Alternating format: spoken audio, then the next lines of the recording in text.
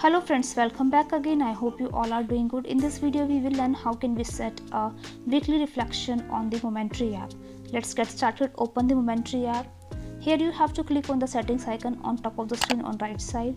Now you have to click on weekly reflection here. You have to click on not set. You can set any time. You just have to click on the time you want to choose and click on ok and here you have to click on tick. Now it has been set as your weekly reflection time.